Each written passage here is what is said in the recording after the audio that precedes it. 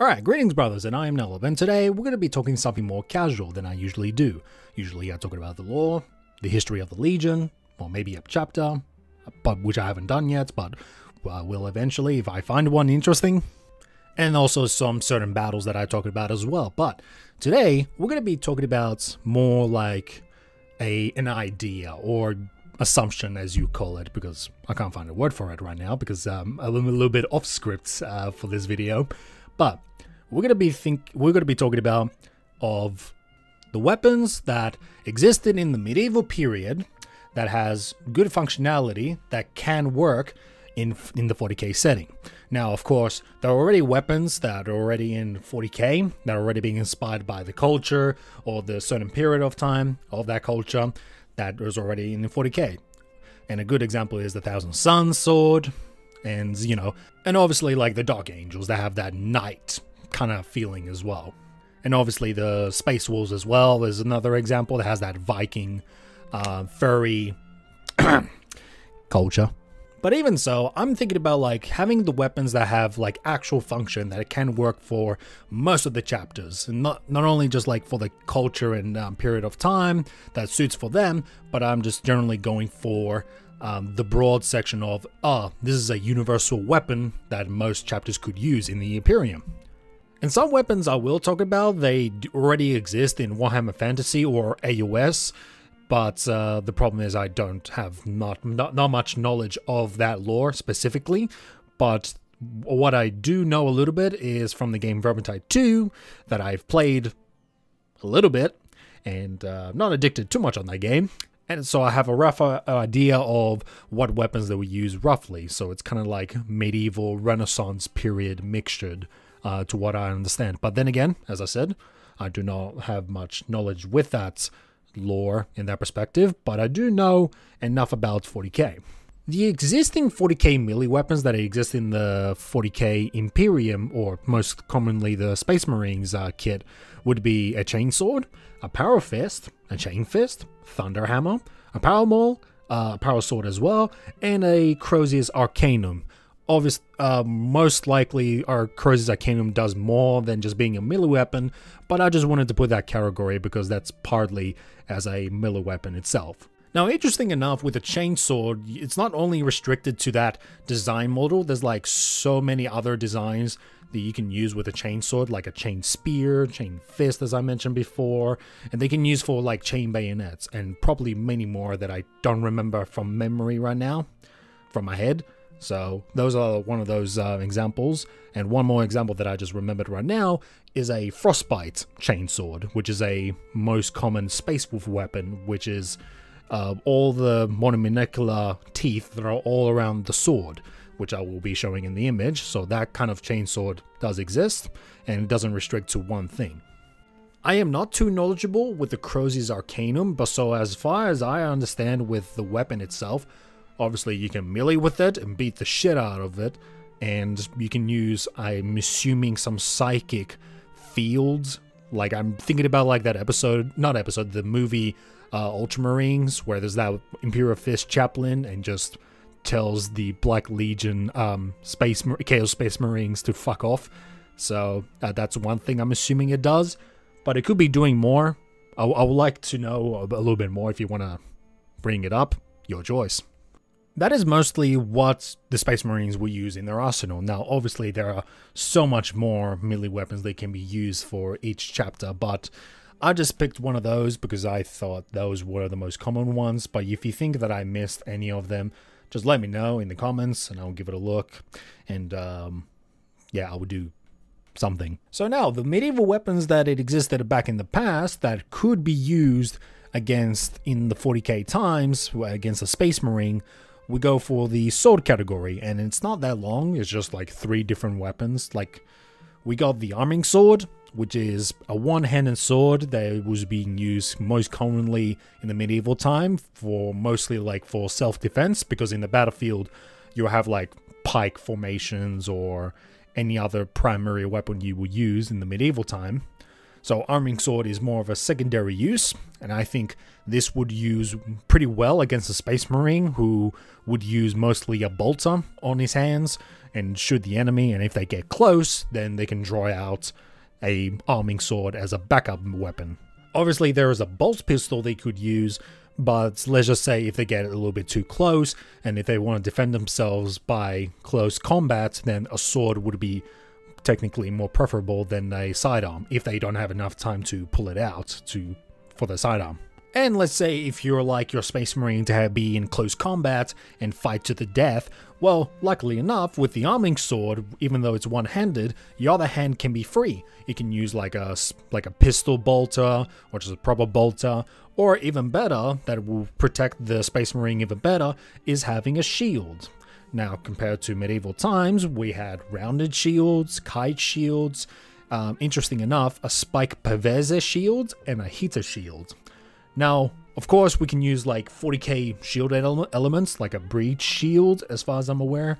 And there's like other types of shields that I couldn't figure it out what the, what they named, but they have interesting similar shapes to medieval times, but I'm just gotta go with the medieval shields that they could use. The Space Marines, even though they have armor upon them that they are com completely protected, but with the shields, it will even give them even more protection when they go in close combat because, let's not forget, even some bolter shells can get into the, um, the Space Marines armor.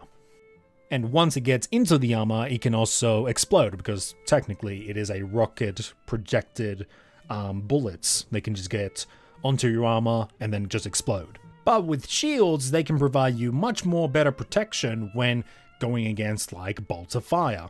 But it's not always 100% guaranteed, but it's just more way more safer when you're trying to get when you're trying to close a gap between the enemy who is firing at you, between you having a melee weapon it is pretty interesting that you, we could do much more with these shields, that we can make it similar to a breacher shield where you can put a hole on the side and put your bolter there and shoot in the enemy as you're closing the, uh, their ranks. But at the same time, I personally do like have a fully closed shields and block anything that comes towards it and I will just close the gap and hit the enemy at close quarters. But then again, that's my personal take. There's always uh, a way to make these shields a lot more better but those are the ideas. For clubs and maces, we have the flange mace, which is similar what Horus use, but it, this is more of a blunt weapon that it could be really used really well against armor. And I'm not sure that how effective against Space Marine armor would it be, but if it was like a powered maul or powered flanged mace, then I believe it would do like devastating damage. And plus, it's a one-handed weapon that you can use. You can use it with a shield, and you can just batter the enemies with it. It is pretty, pretty grim, pretty, pretty dangerous, but it's a very interesting weapon. There is another weapon called the Pacaplankin, which is pretty much a spiked mace, which does the same devastating damage, but one will give like blunt trauma, but the other one will just technically pierce through armor. Now, I'm not sure how thick is the Space Marine armor, but if it was spiky enough that it can penetrate through the Space Marine armor, then it can do lots of damage. And at the same time, you could say it can cause a little bit bleeding, but since we know that Space Marines can self-regenerate really well, but depends how devastating the damage is, then the Peck and Pekka can do enough damage. And we also have the Morning Stars, which is pretty much another mace, but it has like a bolt tip on top with some spikes around it. And it does the same thing, but it compares between the Pekaplankin and the Flange Mace, where it gives a lot of blunt trauma, but it has that spiky bits that it can give like very devastating damage. Now, if it was hit to the head, say goodbye to it. You could say this is similar to Lorgar's weapon as well, which is a bit over like too much, too big to be honest. But it can be used like one-handed, two-handed. But um, as far as I can tell, it's mostly used two-handedly. So you can just like whack it out and just hit them like to a certain weak spot and do like a insane lot of damage. And if this is, was like a power weapon, I think it would do even much more damage against like a space marine with blunt force. Now we have the flail. This is like an interesting weapon because you cannot use this weapon on a 1v1 scale, which technically you could, but the problems with this flail is you can't parry with it and you can't do much self uh, defense other than just attacking. And not only that, when you attack, there might be a possibility that it will come back and hit you and you will injure yourself. So, most likely to, as far as I've been found out when, when I looked around and looked online, is that the flails could be mostly used for cavalry because when you're on horseback, let's just say if you had a like a spear and trying to stab someone on the horse with a spear uh, against an enemy, and then you just stab the enemy, all that force goes through the spear onto you, and it puts a lot of pressure and it pushes you back. Compare that to a flail, the flail will just knock someone out, and because the force it doesn't go it doesn't travel through to the flail to the the body itself to force you back they will just knock the ball back and you can just keep swinging it and knock out people. So mostly this mace would be more practical to be used like on jet bikes and like any mobile units that you could just go against the enemy and then start swinging that flail and knock and, and do like bonking shit on top of them which is pretty fun. There's also like two three ball maces that can be used, but I don't quite understand the purpose of it. Like technically it would be way more better just to have like one one large mace where all the force can be concentrated.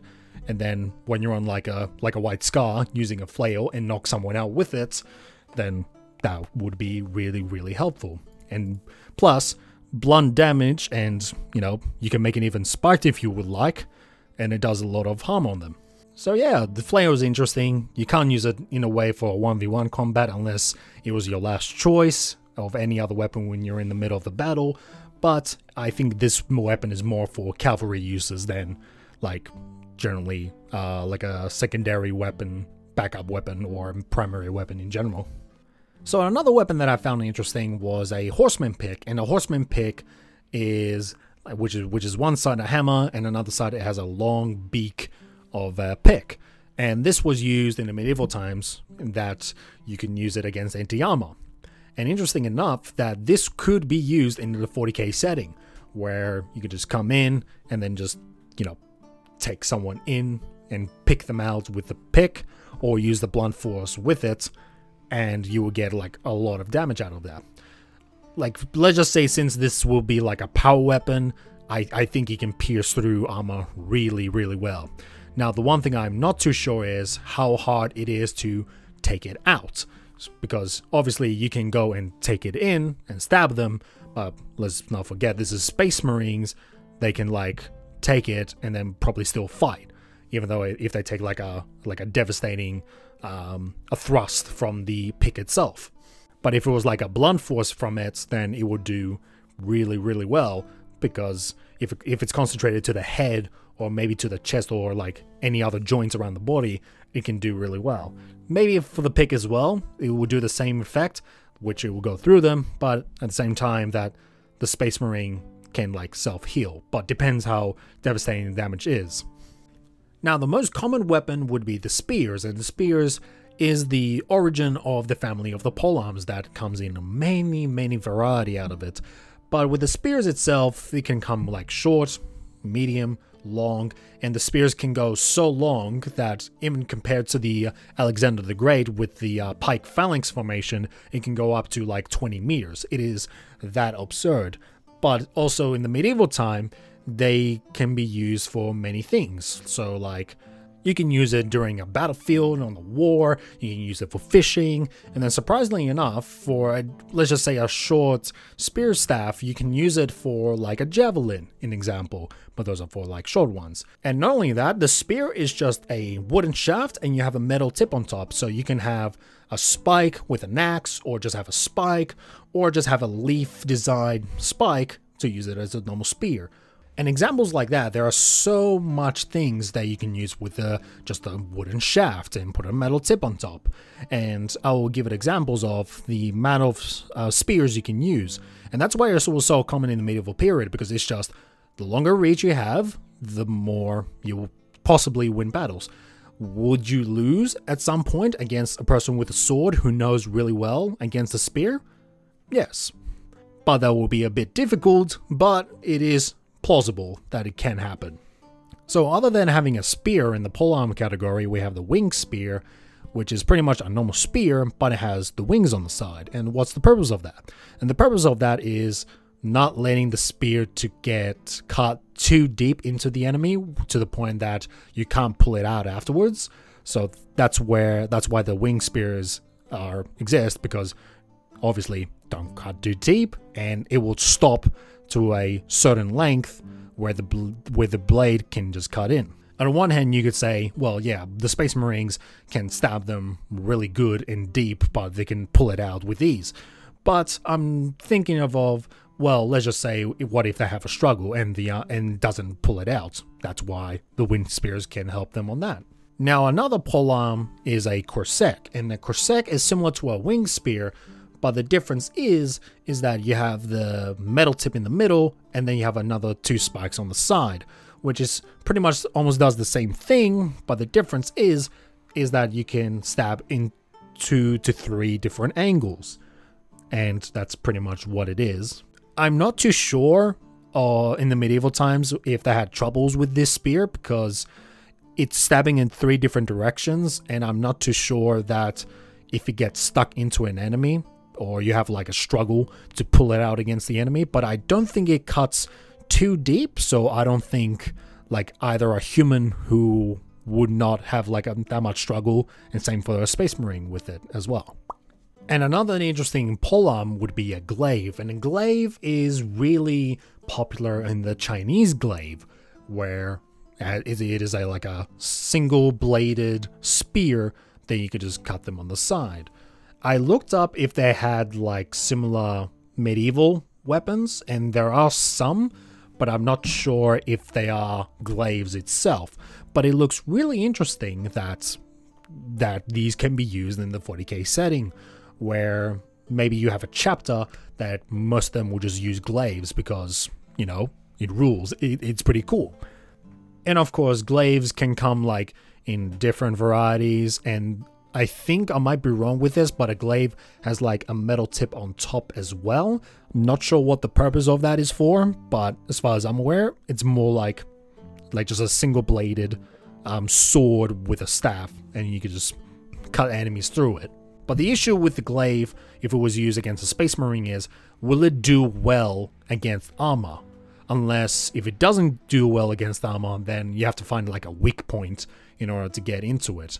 But then again, as I said before, it has the range, the distance, so it can keep away the enemies away. If it was like a duel and they don't use um, like a bolter or they agree to do like a fight of honor, but it all depends with that. Now, one of the most popular weapons would be the halberd, and the halberd obviously comes in a lot of different designs. Like, let me tell you that it comes in very, like, it comes in so much variety of things. Like, you can have a halberd without a spike and just has like an axe and a spike behind, or like a like a, a beak at the back. And there's like other different variety of axes as well, so it doesn't come with one thing. But the halberd itself ideally is just an axe on the front, um, a spike on top where you can use it as a spear, and a um, like a spike at the back. That's the ideal of a halberd is. And this could be really interesting if it was used um, well on a Space Marine chapter. And I technically you could say this could be used um, without a spike on top, where you can use it as a spear, but you can use it as a like a spear bolter weapon, like a custodian's. But I would actually comment something with a different weapon that looks really similar to a custodian weapon. But I think this would be really nice uh, weapon to use um, with the Space Marine chapter. Of course, if they were like elite, like uh, like elite uh, Praetorians of a chapter master, let's say, then I would say they would look really cool to use a halberd. Now, the weapon that I was about to talk about that really looks similar to a custodian um, spear uh, weapon that has like a bolt in the front and this like an axe or a sword looking on the bottom. It is a Bardi Bardique Bar, Bardique Bardiche Okay, I, I butcher in either way. And a Bardiche is interestingly a. It's kind of like an axe, but it can be used in a way like a sword. And interestingly enough, if you had a Space Marine chapter that had similar uh, weapon that looked like like a Bard Bardiche, oh my god, it, it is pretty difficult to pronounce this. But let's just say the Bardiche itself, where you can have like a bolter in front and just have like a like anything that a space marine can hold at the back. And then you can have the the big blade on the bottom. They can be used like an axe or like in a way like a spike tip on the front. It is a really interesting weapon. Um maybe this was influenced to make like a custodian weapon. I'm not too sure but it has a lot of um, similarities because uh, you have the the shaft and then you have the axe variety and that gap on top could be used for like like a bolt pistol or something so just thought this would be interesting enough to bring it up now another polearm that i found it really interesting that could be used in the 40k setting is a Bec de Corbin. I hope that I pronounced that right. And what's interesting about this is instead of looking like a halberd where you have the axe on front of it, you're going to have a hammer on the long stick. And pretty much blunt force, you can have you can use it as a spear to spike them, and you can just like swap from the hammer to the pick, and then you can just stab them with it. Not too sure if you know it can be easily pull out, which I'm certain it is possible because I don't think it pierces that much into the armor, but if it does, then there's the other assumptions of can it be pull out easier? But then again, Space Marines can pull it out pretty easily, so no problem. And I do like this weapon specifically just because it's a hammer. it's a it's a hammer pole arm, but you can obviously do many things with a hammer. Like you can have um like a flat surface, or one has like maybe a spike. But I might be wrong with this one because I've seen images and I might get this wrong. So if you would like to let me know, let me know because I technically still I'm still learning of this. And finally, with the polearm, we have the uh, spear staff. But personally, I would call it the sword staff because it is pretty much replacing a um, either a long sword or arming sword and stick it to a long stick, and then you have a sword staff. But unfortunately, these weren't mm, commonly used in the past, so we have a little bit of sources here and there, and they were used in Sweden at the end of the medieval times. But other than that, we didn't have any much more sources from it. But it was interesting enough that it existed in the medieval times, uh, or back in the day in general. So this could technically be used um, in the 40k setting where you can just have a power sword, stick it to a spear, and then boom, you know, power spear sword. And it could do the same effect like an arming and a longsword maybe, and powered it up. And plus, since you have like longer reach against them, then it would do much more effective uh, work or job. Either way. But I just find it really nice because sword staff. Alright, that's all it. So thank you very much for watching my mumbling all over the place. Uh, I am not an expert with these weapons. I just found something interesting and being like, oh, maybe I should make a video about it because I just found it interesting and I kind of want to learn about more about like medieval weapons back in the day. And if you're knowledgeable yourself and you want to share your knowledge to me or someone else who watches this video and curious about, you know, there's much more medieval weapons that can be used in the past, well, always always share your thoughts in the comments if you would like. But yeah, this is not a usual video because uh, I, I usually go scripted, but this is more of a casual video, so I'm just like, hey, you know, mumbo jumbo, no script. Well, I have a script, but it has like a list of weapons, so I have to go through memory of it and be like, oh, what what can this be interesting about it? But overall, I I, I pretty much had fun with it making this video, and I hope you enjoyed it too. If you're knowledgeable of of like things like in the medieval time, uh, you know, just share it in the comments if you like, because um, I I'm technically still learning about this, and I would like to learn more about the medieval stuff. Um, if you're willing to share it, be my guest because I, I'm willing to learn about it. And plus, I'm kind of doing like HEMA solo training thing, so you know, it's a bit unnecessary to mention it, but I was like, eh, you know, that, that's that's how much like interest I have at the moment, and hopefully I'll go more through it. So yeah, that's all it for today, my brothers. I hope you enjoyed the video, and if you're new to this channel, you know what to do. I don't have to tell you. And farewell, my brothers, and take care.